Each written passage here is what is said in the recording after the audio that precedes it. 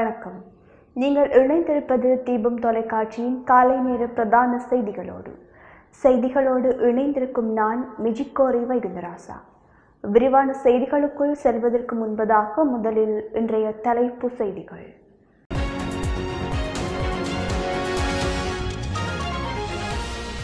நாட்டை முடக்க ஜனாதிபதிக்கு அழுத்தங்கள் அதிகரிப்பு. இன்று முக்கிய அறிவிப்பை வெளியிடுகின்றார்.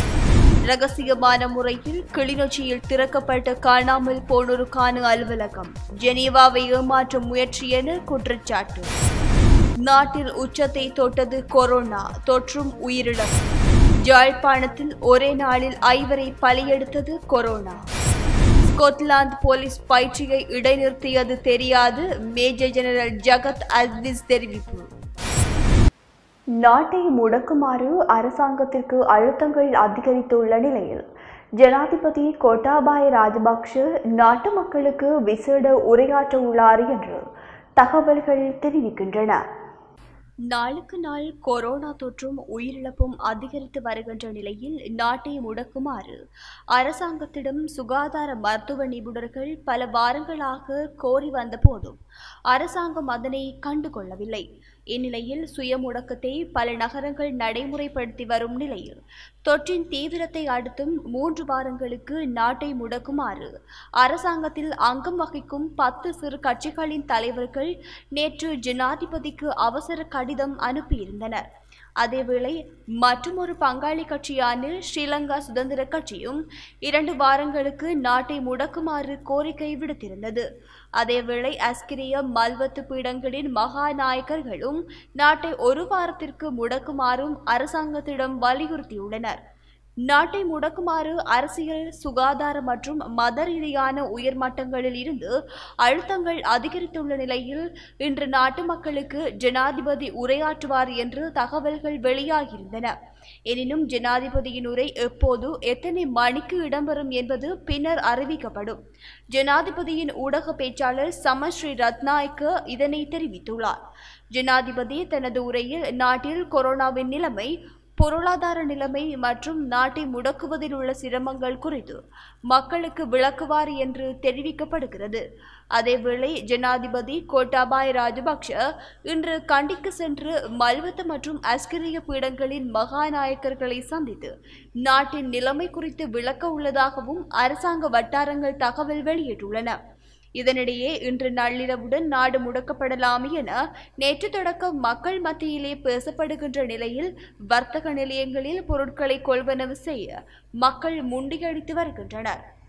கிளிநொச்சியில் கடந்த பன்னிரெண்டாம் திகதி மிகவும் ரகசியமான முறையில் காணாமல் போனோருக்கான அலுவலகம் திறக்கப்பட்டிருப்பது எதிர்வரும் ஜெனீவா கூட்டத்தொடரை எதிர்கொள்வதற்கான ஒரு நாடகமே என்று வடக்கு கிழக்கிலிருந்து வலிந்து காணாமல் ஆக்கப்பட்டோரின் உறவினர்கள் அமைப்பின் செயலாளர் லீலா தேவி தெரிவித்துள்ளார். காணாமல் ஆக்கப்பட்டவர்களுக்கான அலுவலகத்தை நாம் தொடர்ச்சியாக எதிர்த்தே வந்துள்ளோம். இதனால் வலிந்து காணாமல் ஆக்கப்பட்டவர்களின் உறவுகளுக்கு எவ்வித நீதியும் கிடைக்கப் போவதில்லை. காணாமல் போனோருக்கான அலுவலகம் மீது சர்வதேசம் மெல்லிய நம்பிக்கை வைத்திருந்தது. எனவே காணாமல் போனோருக்கான அலுவலகத்தின் உண்மை முகத்தை வெளிக்காட்டுவதற்காக இரண்டாயிரத்து பத்தொன்பதாம் ஆண்டு ஜூலை இருபதாம் திகதி ஐந்து காணாமலாக்கப்பட்ட சம்பவங்கள் தொடர்பான வலுவான ஆதாரங்களை இந்த அலுவலகத்திற்கு வழங்கினோம். இதனை அப்போது தலைவராக இருந்த சாலிக பீரிஸ் ஏற்றுக்கொண்டு தீர்வை தருவதாக கூறியிருந்தார். ஆனால் இன்று வரை அவற்றுக்கு தீர்வுகள் வழங்கப்படவில்லை. இதன் மூலம் இந்த அலுவலகத்தினால் எதுவும் ஆகப்போவதில்லை என்ற உண்மை அனைவருக்கும் தெரிய வந்தது இந்நிலையில் தற்போது கொரோனா பரவல் காரணமாக ஒன்று கூடவோ எதிர்ப்பு போராட்டங்கள் நடத்தவோ முடியாதவாறு சட்டங்களையும் கட்டுப்பாடுகளையும் விதித்து ரகசியமாக கிளிநொச்சியில் காணாமல் போனோருக்கான அலுவலகத்தை திறந்து செயற்பாடுகளை ஆரம்பித்திருப்பது எமக்கு பலத்த சந்தேகத்தை ஏற்படுத்தி இருக்கிறது யாருக்காக இந்த அலுவலகம் உருவாக்கப்பட்டதோ அவர்கள் எவருக்கும் தெரியாமல் இதனை கிளிநொச்சியில் ரகசியமாக திறந்திருப்பதன் காரணம் என்ன? சர்வதேசத்தையும் ஜெனீவாவையும் எதிர்கொள்வதற்காக அரசாங்கம் போடும் நாடகமே இது என்று அவர் மேலும் தெரிவித்துள்ளார்.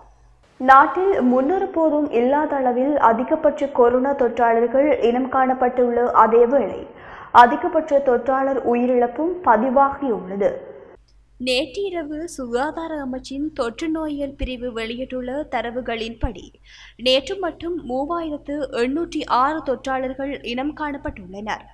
நேற்று இருபத்தி இரண்டாயிரத்து இருநூற்று தொண்ணூறு பிசிஆர் பரிசோதனைகள் முன்னெடுக்கப்பட்ட போதே அவர்களில் மூவாயிரத்து எண்ணூற்றி ஆறு பேருக்கு தொற்று உறுதியாகியுள்ளது. இதுவரை ஒரே நாளில் இனம் காணப்பட்ட அதிகபட்ச தொற்றாளர்கள் எண்ணிக்கை இது என்பது குறிப்பிடத்தக்கது. இதனை அடுத்து இதுவரை இனம் காணப்பட்டுள்ள தொற்றாளர்களுடைய எண்ணிக்கை மூன்று லட்சத்து எழுபதாயிரமாக அதிகரித்துள்ளது. அதேவேளை நேற்று முன்தினம் நூற்றி எண்பத்தி ஆறு கொரோனா தொற்று உயிரிழப்புகள் பதிவாகியுள்ளதாக சுகாதார சேவைகள் பணிப்பாளர் நாயகம் தெரிவித்துள்ளார். இதுவே ஒரே நாளில் அதிகளவு தொற்றாளர்கள் உயிரிழந்த சம்பவம் என்று அவர் குறிப்பிட்டுள்ளார். உயிரிழந்தவர்களில் நூற்றி பதினோரு பேர் ஆண்கள் என்றும் எழுபத்தி ஐந்து பேர் பெண்கள் என்றும் நூற்றி நாற்பத்தி ஏழு பேர் அறுபது வயதிற்கு மேற்பட்டவர்கள் என்றும் சுகாதார சேவைகள் பணிப்பாளர் நாயகம் தெரிவித்துள்ளார். இதனை அடுத்து நாட்டில் கொரோனா தொற்றினால் உயிரிழந்தவர்களின் எண்ணிக்கை ஆறாயிரத்து எழுநூற்றி தொன்னூறாக அதிகரித்துள்ளது. யாழ்ப்பாணத்தில் நேற்று மேலும் ஐந்து பேர் கொரோனா தொற்றினால் உயிரிழந்துள்ளனர் என தெரிவிக்கப்படுகின்றது. ஜாழ் போதனா மருத்துவமனையில் சிகிச்சை பெற்று வந்த சுதுமலை வடக்கைச் சேர்ந்த தொன்னூற்றி இரண்டு வயதுடைய ஆண் ஒருவரும் கைதடியைச் சேர்ந்த நாற்பத்தி மூன்று வயதுடைய ஆண் ஒருவரும் மாணிப்பாயைச் சேர்ந்த எண்பத்தி ஐந்து வயதுடைய ஆண் ஒருவரும் உரும்புராயைச் சேர்ந்த எண்பத்தி ஆறு வயதுடைய ஆண் ஒருவரும் அளவட்டியைச் சேர்ந்த அறுபத்தி எட்டு வயதுடைய பெண் ஒருவருமே நேற்று உயிரிழந்துள்ளனர் என அறிவிக்கப்பட்டுள்ளது. இதனை அடுத்து ஜாழ்ப்பாணம் மாவட்டத்தில் கொரோனா தொற்றினால் உயிரிழந்தவர்களுடைய எண்ணிக்கை நூற்றி தொன்னூற்றி இரண்டாக அதிகரித்துள்ளது. அதேவேளை கிளிநொச்சியில் உயிரிழந்த வயோதிபர் ஒருவருக்கும் கொரோனா தொற்று இருந்தமை உறுதி செய்யப்பட்டுள்ளது. தொண்ணூறு வயதுடைய குறித்த வயோதிபர் திடீர் என உயிரிழந்த நிலையில் அவருடைய பிசிஆர் மாதிரிகள் கிளிநொச்சி மாவட்ட மருத்துவமனை ஊடாக ஜாழ் போதனா மருத்துவமனை ஆய்வுக்கூடத்துக்கு அனுப்பப்பட்டிருந்தன. அங்கு மேற்கொள்ளப்பட்ட பரிசோதனையிலேயே அவருக்கு தொற்று ஏற்பட்டிருந்தமை உறுதிப்படுத்தப்பட்டுள்ளது.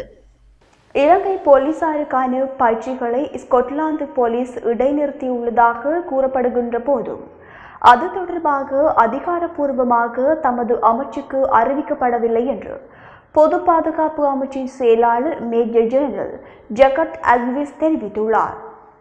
இலங்கை போலீசார் மீதான மனித மீறல் குற்றச்சாட்டுகளை அடுத்து அவர்களுக்கான பயிற்சிகளை இடைநிறுத்த ஸ்கொட்லாந்து போலீஸ் தீர்மானித்துள்ளதாக செய்திகள் வெளியாகியிருந்தன. கடந்த மே மாதம் தொடக்கம் இந்த பயிற்சிகள் இடைநிறுத்தப்பட்டுள்ளதாகவும் தெரிவிக்கப்பட்டிருந்தது. இது குறித்து பொது பாதுகாப்பு அமைச்சின் செயலாளர் மேஜர் ஜெனரல் ஜஹத் அல்கிஸிடம் ஊடகங்கள் வினவிய போதே இனமும் இது குறித்து தமது அமைச்சுக்கு எந்த தகவலும் கிடைக்கவில்லை என்று அவர் பதிலளித்துள்ளார்.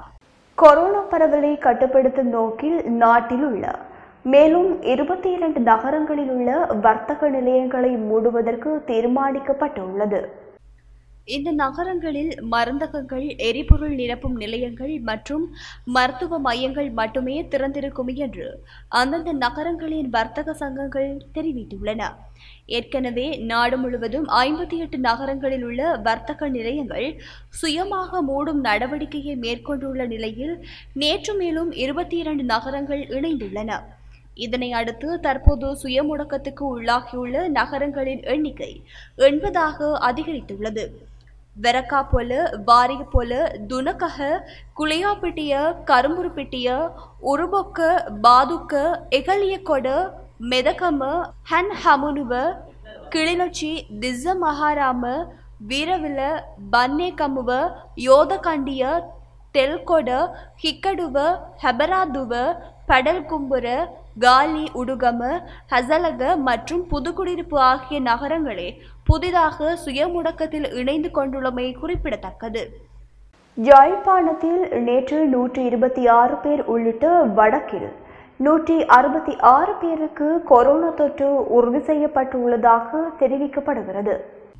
ஜாழ் போதனா மருத்துவமனை ஆய்வுக் கூடத்தில் மேற்கொள்ளப்பட்ட பரிசோதனையின் போதே இவர்கள் அடையாளம் காணப்பட்டுள்ளனர்.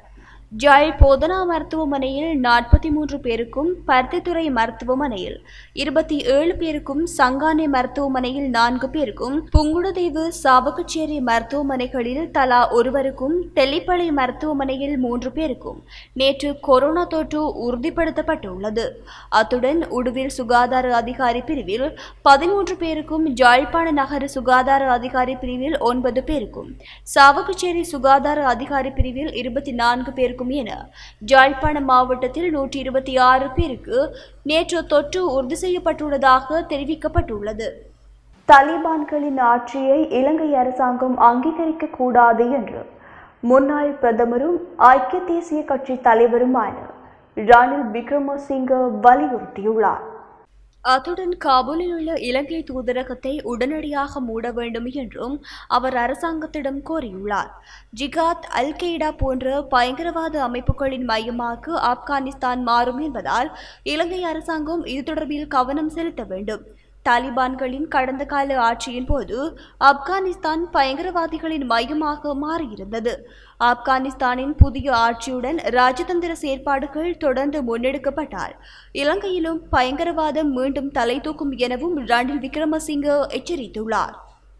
வவுனியா மாவட்டத்தில் நேற்று ஒரே நாளில் நூற்றி நாற்பத்தி ஆறு பேருக்கு கொரோனா தொற்று உறுதிப்படுத்தப்பட்டுள்ளதாக சுகாதார பிரிவினர் தெரிவித்துள்ளனர்.